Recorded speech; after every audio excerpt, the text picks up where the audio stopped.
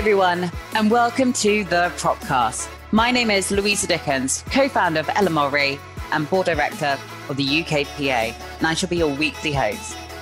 Each week, for 30 minutes, we'll be connecting the VCs, prop tech startups, and real estate professionals globally, and assist in bridging that famous communication gap we all love talking about. So sit back, relax, and enjoy the show.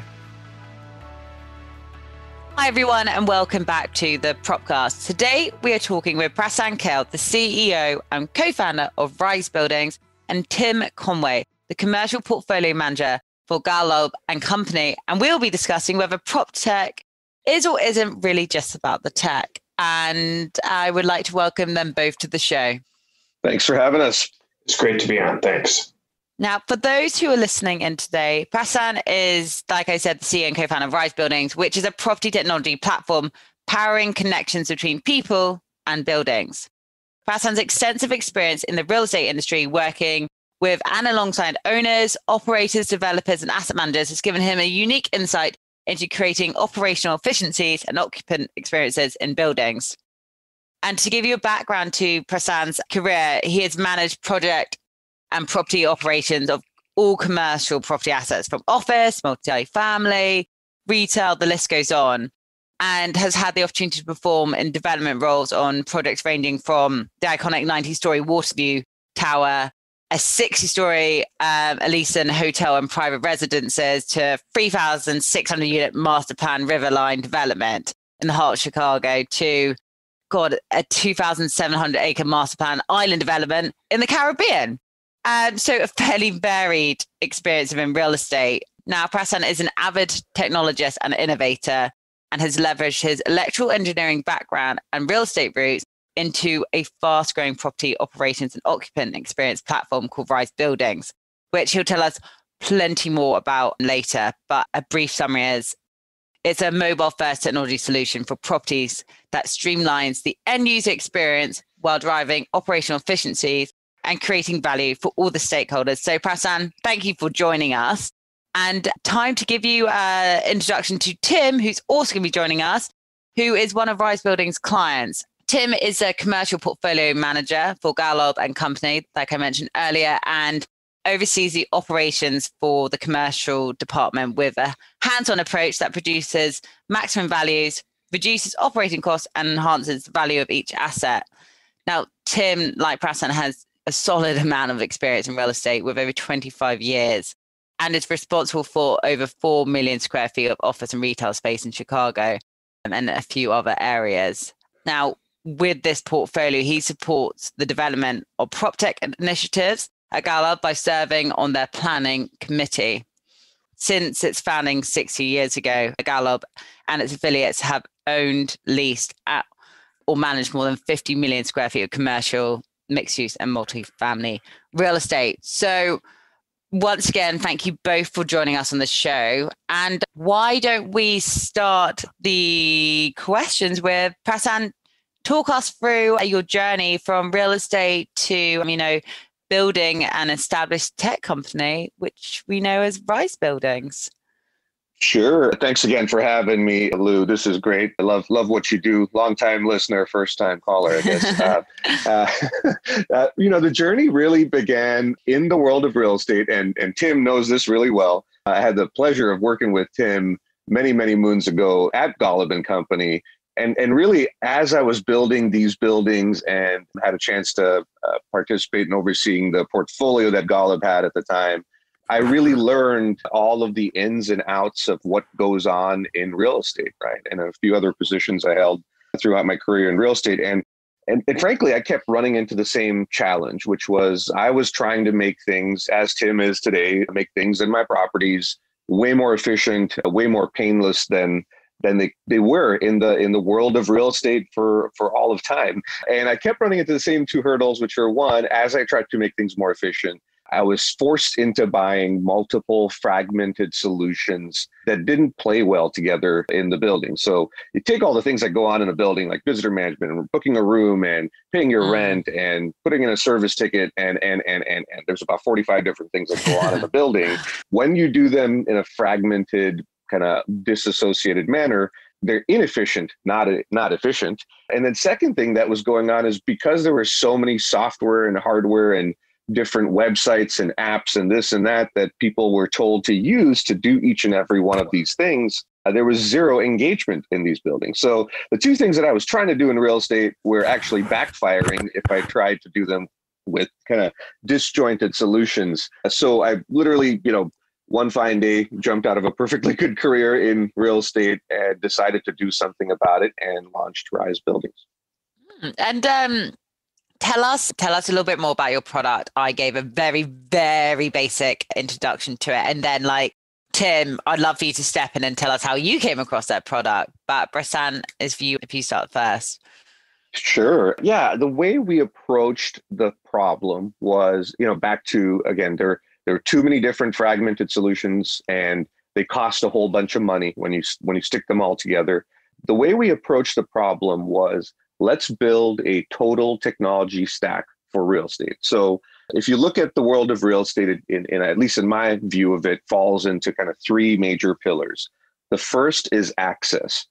And while Rise is not an access control company, we don't run the pipes and wires that do the right thing that that unlock the door we deeply integrate to those systems so that we can, in fact, unlock the door. So look at Rise as an access enablement company, uh, not a control company. The second major pillar is operations, everything that goes on inside the building, the daily activities of staff, everything from an incident report all the way to service ticket triage to preventive maintenance visitor management and reservations like book the conference room take a payment for something and there's a long list of everything that goes on inside of real estate day in and day out that not just staff members, but occupants need to get done.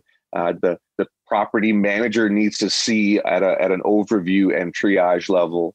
So really taking the daily activities and making them fully automated, not, not, you know, hey, book an amenity. And when you press that button, it tells you which number to call. Well, that's not that's not technology that's just a website right? Mm. uh, that's, that's basic. What it should really be is book that amenity pick your hours pay for it and the door unlocks for you because you've booked that amenity and only for you right? That's how it should be. So that's the second kind of operations pillar. And as a result of those two very deep kind of gateway features we drive a tremendous amount of engagement in the in the tenant experience arena. So people actually use the platform every single day. We'll see 30, 40% of a building population open the app and do something in it uh, for more than 10 seconds, which means an engaged bit of time every single day. So now you can start delivering great value to the building, like engaging content. And the building itself can promote their brand via our branded platform and really start to get the occupants to connect with each other, creating this connective tissue of community in your building. So that's the third pillar. And then there's a fourth pillar that's really the advanced layer of analytics and data that stems from all of this throughput of the first three pillars. Our platform allows you to look at things like space utilization using our patented Beacon platform over time or in real time. It can do things like facilitate contact tracing, very relevant to the world that mm. we li- live in today, and, and so on and so forth. So there's a whole fourth kind of advanced layer of AI and analytics that's built on top of all of the great data that comes from the platform. And Tim, tell us how you were first introduced to Rise Buildings and yeah. yeah, sure. I mean, you know, I've known Prasanth for 15 years now and we're we're friends who obviously work together at Golub and Company and frankly, we, we have talked about this challenge for many, many years and, and trying to, you know, as Prasanth said, defragment solutions for all of our, our tenants in, inside our buildings. So as he left Golub and Company and started to pursue, you know, founding Rise buildings, we kept in touch. And so as as he launched Rise, I, I became very interested in it and it's proven to to be everything that that he's planned it out to be. And is there, as one of his clients, is a particular part of the product? Obviously, Prasanth just went into the four parts of it, which which is used a bit more by your business, or where you see more value.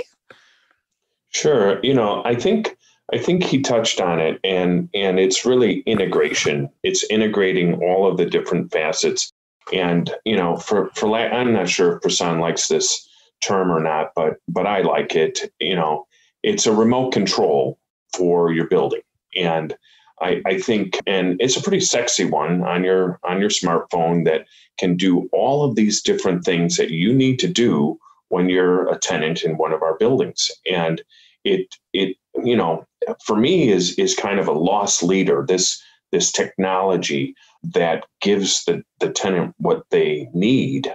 For me, it's more our ability to market our brand and to make the connection with our tenants really in, in an emotional way to solve their problems and make their lives easier and and that makes them happy and that makes them satisfied and and it draws up all those those feelings that we want them to feel when they're inside one of our buildings and Prasan, you know, I've heard you speak about the functional capabilities of your product and how that's really table stakes for a successful prop tech company.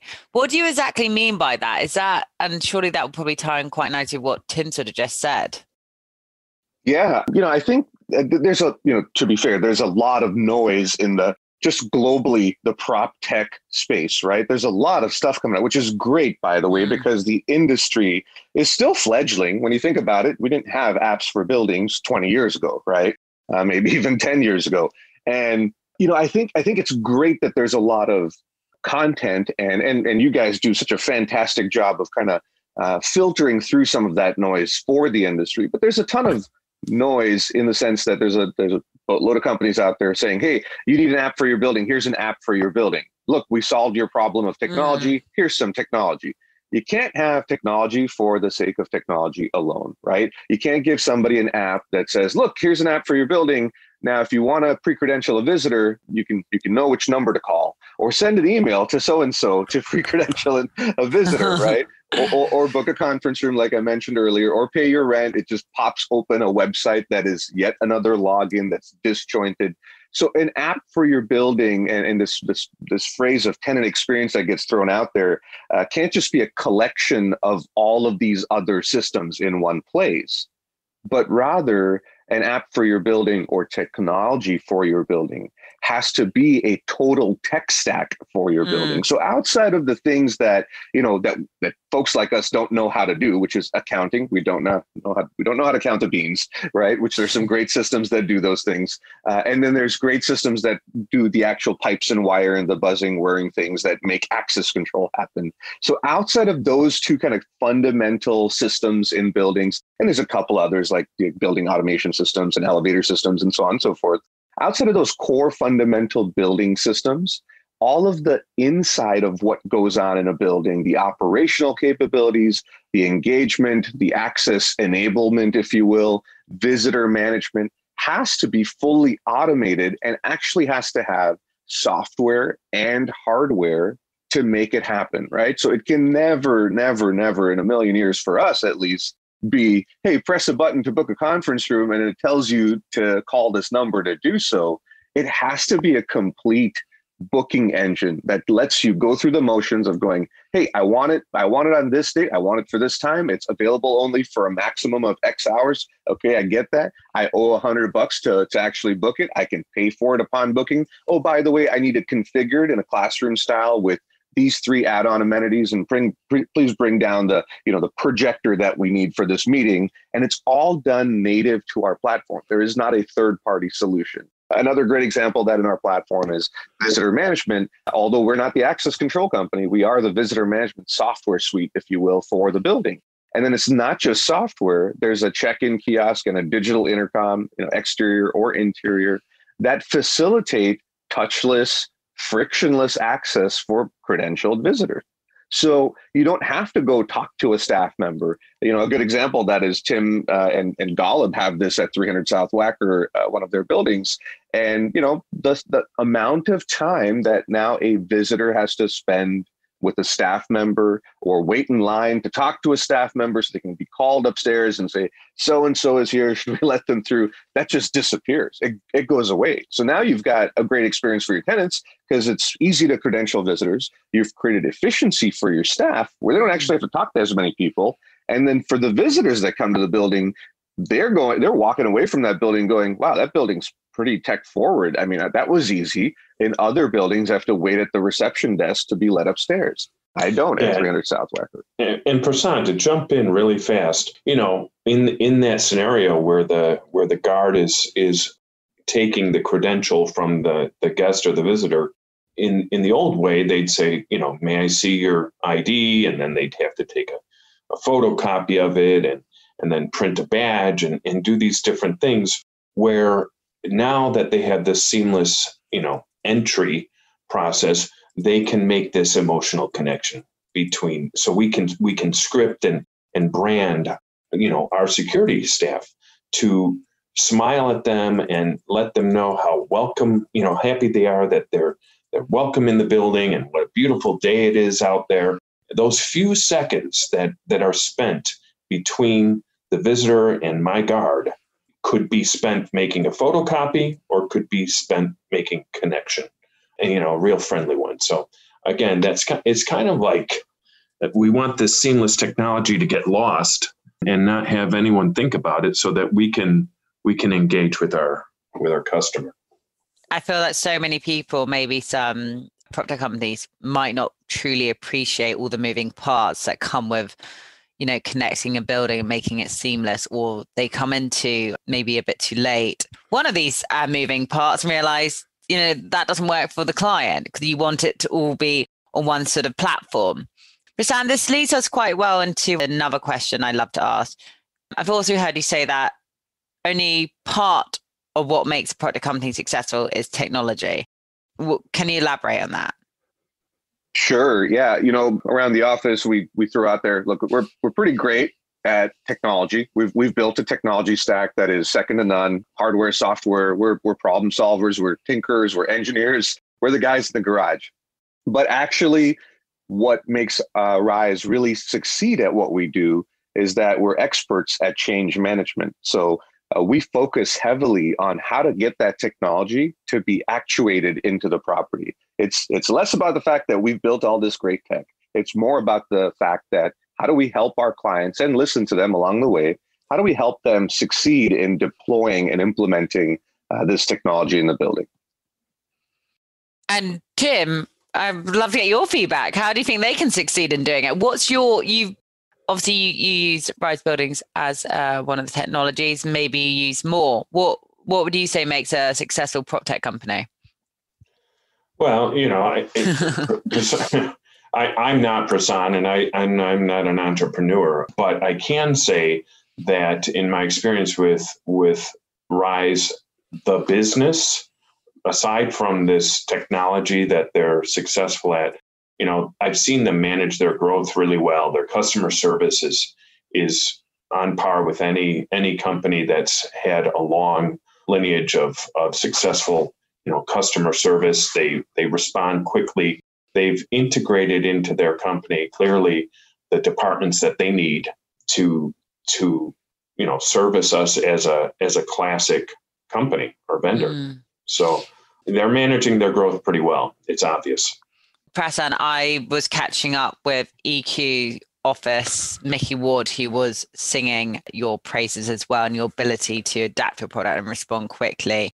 Similarly, you know, you do this for many of your other clients as well. That's the feedback I get from landlords, you know, big asset managers, is that the tech the technology doesn't respond quick enough. You know, how have you managed to customize your product and develop it so quickly to a wide range of clients? Is it, yeah, what, what's your secret sauce to that and delivering to them on time? Where I'm sure a lot of these clients are pretty difficult. yeah, you know, it, it, it's a great question, and, and, you know, we love Mickey and and love how her forward-thinking yet pragmatic mind works in in deploying really good tech into her buildings. But to answer the question, I, I think you know it all starts with how you build the platform the platform on day one. It starts on day one right? Uh, fr- from day one we always envisioned rise to be a total tech stack for any building multifamily condo rental co-living co-working commercial side you know uh, traditional commercial you know uh, enterprise commercial senior living, student housing, doesn't matter. If it's a building that has four walls and a roof and people that work or live there, staff that maintain and manage the building, and managers that oversee that building, our platform works in it. And that's not to say that we're a custom solution or anything. We've built a product. It's not like we have to go code your app for you every time. But mm-hmm. the way we built it from day one was that we built all of the different scenarios that could result in a building. And I'll, g- I'll give you a simple example of that. In some buildings, the property management team wants a service request that, you know, a Joe Cubicle might have put in to be approved by their main contact at the tenant level before it makes it its way to the management team at the building. Other buildings say, nope, I'd, I'd want to see that right away. I want to see that service request from Joe Cubicle directly, and then I can triage it and, and, and fix the leaky valve or whatever, right? That is not a customization on our platform. That's a configuration, right? So we've built these significant, significant amount of you know it's like 45 to the power of four workflows in our platform and mine, tiny little configurations as on and off buttons if you will or boxes that get checked that quickly can adapt the platform to that property's specific needs so you know building these properties and operating them in my past life i knew that no two properties work the same they have their mm. own little bit of dna they all have their their, their own nuances so we built those nuances in early days into the platform. And then second part of that is that you have to listen to your client. You have to have to have to listen. And you have to deeply listen. You have to understand. You, you don't just answer their literal question as in, hey, can you do this? It's not like, yes, yes, I can. Here, I did it. Press the button and off it goes.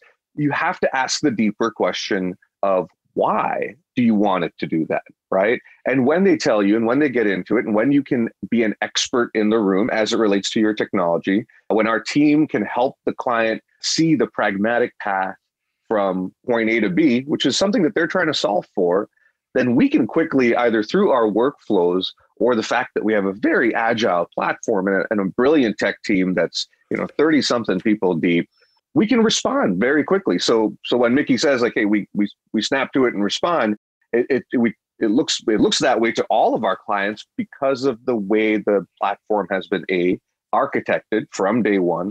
Uh, and that's courtesy of Sid, my my my, my co-founder and and overall brilliant human human being. But then B, we we we very very intently listen, and we intently listen all the time.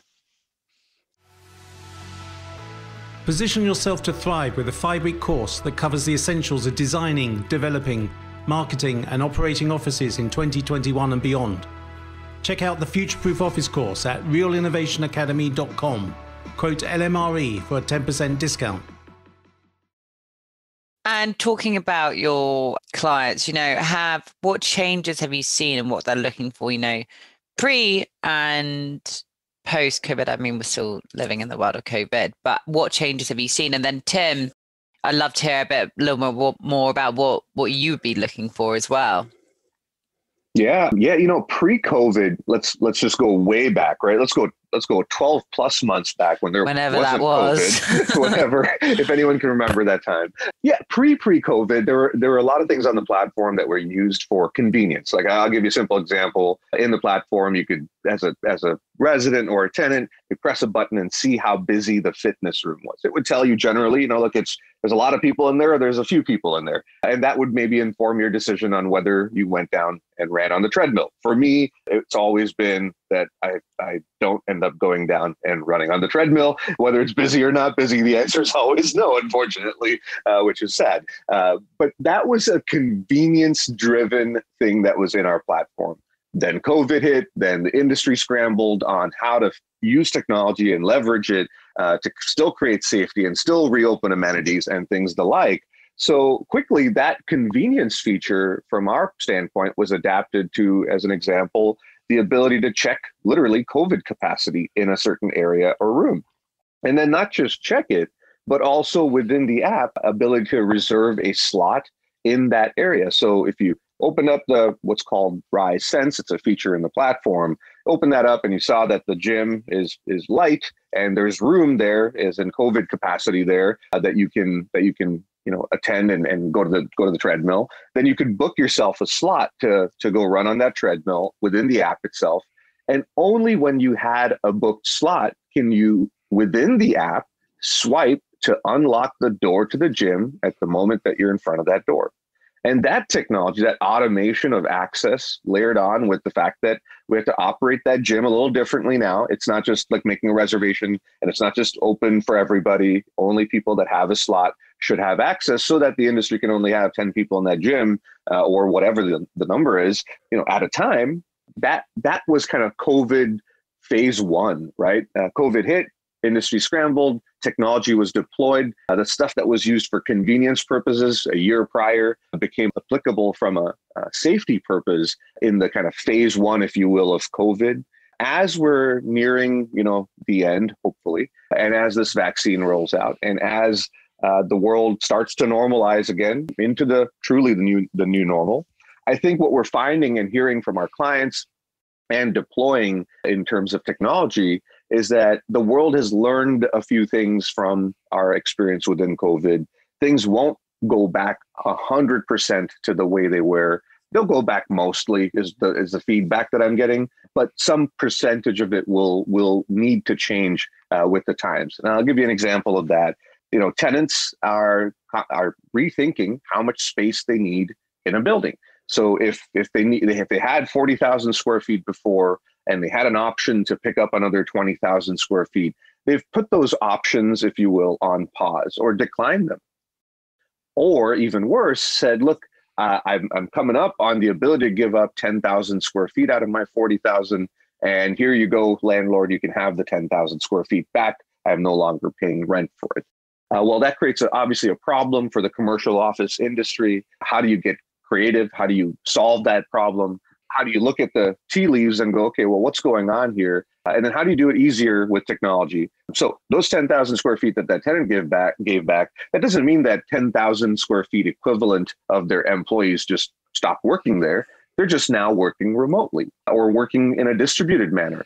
Those 10,000 square feet that they had at your building is, is, is in need of redistribution across your entire portfolio. So find a way to make that employee, which might be connected to the building already through a technology such as Rise, find a way for that employee of that tenant to book their desk or their conference room or their meeting space in one of your other buildings in the portfolio that's more close to home or in a distributed uh, manner. And, and these kinds of thoughts that the industry is going through, the ability to flexibly book office space on demand are, I think, what you know technology is going to look like at least a portion thereof, kind of into this next phase of COVID and beyond. Oh, God, next phase of COVID and beyond. God, it's it's dangerous talking about it, isn't it? Tim, from a client perspective, you know, what what sort of changes have you seen, or maybe what your business is looking for? Sure, sure. You know, I, I I think I'd be remiss to say that it's it's not just simply pre or post COVID, not in this country anyway, but even um, worldwide, but we, we experienced really a revolution that showed itself with civil unrest in 2020 that I think has changed the way we will operate properties as well. So they they kind of in a weird way are going to work together as it relates to, you know, security and safety. And I think that that a product like Rise really helps us operate our, our properties more safely and more securely. So I think that that post um, COVID or post 2020 scenario will be benefited by the use of, of a product like Rise because we can we can really analyze the data and and and see who is in a building, how many people are in a building, all of the all of the great features that that would provide us in in terms of an emergency if we had to evacuate the property.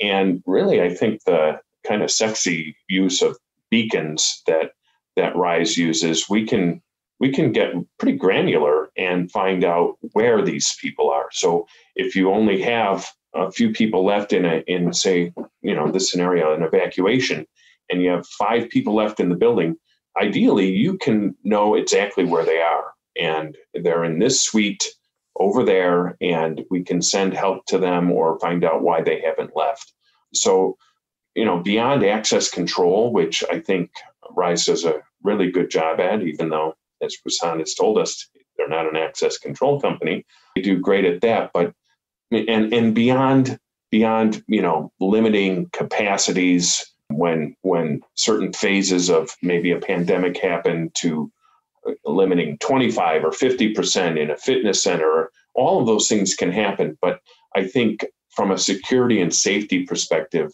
this this seamless technology of knowing who's in the building where they are and and helping in in kind of a crisis is really going to post post 2020 help how our buildings operate really really well well, yeah. yeah, fingers crossed we're all sort of back in those offices soon um, and so. get this vaccine to everyone. Now, we're just to sort of round this podcast off, you know, Prasan, we got it was last week or maybe the week before. I don't know. I keep losing track of time these days, but we spoke about the idea of prop tech being truly borderless. Can you delve into this a little bit more? Yeah. And I think you said borderless there, right? Yeah. Great. Yeah, the idea of prop tech being borderless, you know, really it, it, it starts with the block by block borders, right? Why can't uh, a building in the suburban part of Chicago, for example, use the same great technology that is in, you know, a downtown Class A asset? Why should prop tech companies only be targeting kind of class A, you know, really shiny high rises downtown, as opposed to really bringing this property technology concept to everybody uh, of every single housing class and commercial office class in in the country. Why can't they have the same ease and convenience and benefit of use of connecting to their communities and connecting to the building everywhere? And that, and all what we just talked about was say just centric to chicago but expand that to anywhere in the world, right? Why can't good technology, much like you know the folks that like WhatsApp did, it was good technology, right? It was mm. one very unique feature. They brought it literally across the world, and they did it almost overnight. It felt like, or Facebook, or any of these guys that have that have built massive, you know, building or rather companies that that that really do bring technology, good and bad sometimes, to the the, the, the user at any place in the world, right? Why can't that exist for prop tech?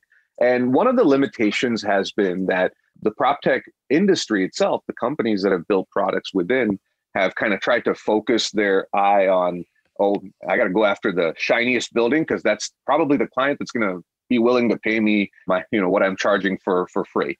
And, and and we didn't look at the world that way. We looked at our platform as as more more ubiquitous and applicable to everybody uh, in the world, buildings and people, if you will. Mm. And, and so we set it up that way so that we could deploy anywhere in the world. You know, we just, we literally two weeks ago or three weeks ago went live in Lagos, Nigeria.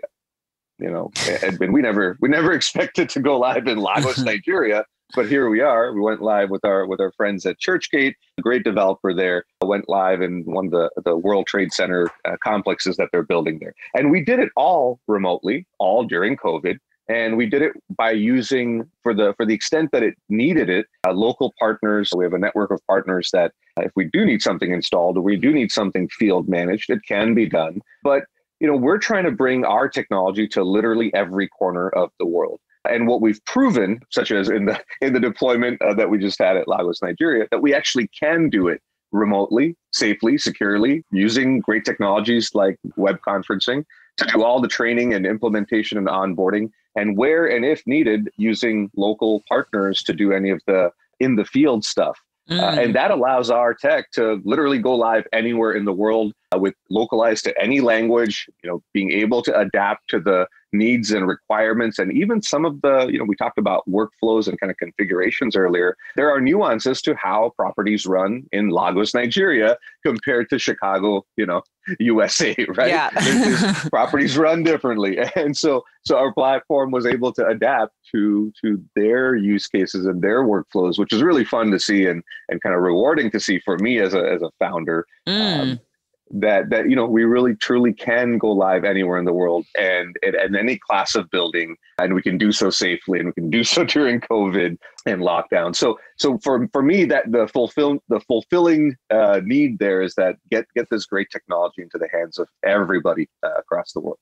Yeah i think i think that's fascinating. And if i try to explain that to say my parents they wouldn't understand how technology could be implemented into buildings, you know, from the other side of the world. And to be honest, I find that hard to believe. I find it in- insane how you can do that. So yeah, well let let's see uh, what happens over the next sort of few years, few years in terms of technology. Now we're coming to the end of the show, Tim and Prasan, but um, please can you share the best way for our listeners to connect with you, and if you have any parting bit of information you'd like to leave the audience with? But Prasan, please go first. Sure. Yeah. The passing bit is, you know, for for clients and and, and folks in the the real estate space that are listening, you know, it really I know it's it's daunting, right? Oh my God, am I gonna am I gonna make this move of doing technology in our buildings? Am, am I gonna come to the, you know, kind of tech forward generation that Uh, that is going to be your tenants if they aren't already and and and let them use great technology to operate buildings a, a little bit more efficiently there, there's a lot of uh, kind of you know not pessimism, but there's optimism actually, but there's there's also kind of fear of the unknown, right? And I get it. To that, I would say to our our clients and, and just generally the industry, you know, try it. Don't don't go don't go portfolio wide tomorrow. Try it on a building. See if that measure the data. See if people got happier. See see if there's a better satisfaction survey uh, that came out, you know, a year after you did this technology or six months after. See what it did for your staff. See what it did for your management. See if it became easier to manage that building, and, and take the leap of faith. You know, use this time to plan and really take a take a try at bringing buildings, which look, by the way, 90% of the US commercial building stock is still running off of clipboards, paper, and pen. Believe it or not, uh, there's still there's still a large chunk of buildings that do visitor management on a piece of paper. And and look, try it, and and I think you'll see that there are there's a there's some really nice fruits at the end of that at, at, of that effort. You know, you can find out more about Rise Buildings, of course, on our website at risebuildings.com. Certainly on LinkedIn. Feel free to follow me, connect with me on LinkedIn. I always love uh, yapping about all things property technology. So feel free to drop me a line and say hello. Awesome. Thank you for that. And Tim, what's the best way for the audience to connect with you? Yeah, I would agree. LinkedIn is the best way to, to connect with me. And the, the only thing that I would add that Prasan said in closing is, you know, our end user, our customers, our tenants could really care less about technology, most of them, and they, they care about whether or not their problems are solved and, and done so efficiently for us, it's about connecting with them and and furthering our brand and making that really emotional connection with them and using technology as as a vehicle to accomplish that. So Awesome. Thank you both so much for joining us on the Propcast today. And um, I'm looking forward to catching up with you both after the show. Thanks, Lou. It was great. Great to be here. Yeah, a pleasure. Thanks, Lou. Thank you for joining us this week on the Propcast, and a big thanks to our special guests. Make sure you visit our website, www.lmre.co.uk, where you can subscribe to our show, or you'll find us on iTunes and Spotify, where all good content is found. Whilst you're at it, if you found value in the show, we'd appreciate if you could rate and review us on iTunes, or if you simply just spread the word. Be sure to tune in next Tuesday, and I'll catch you later.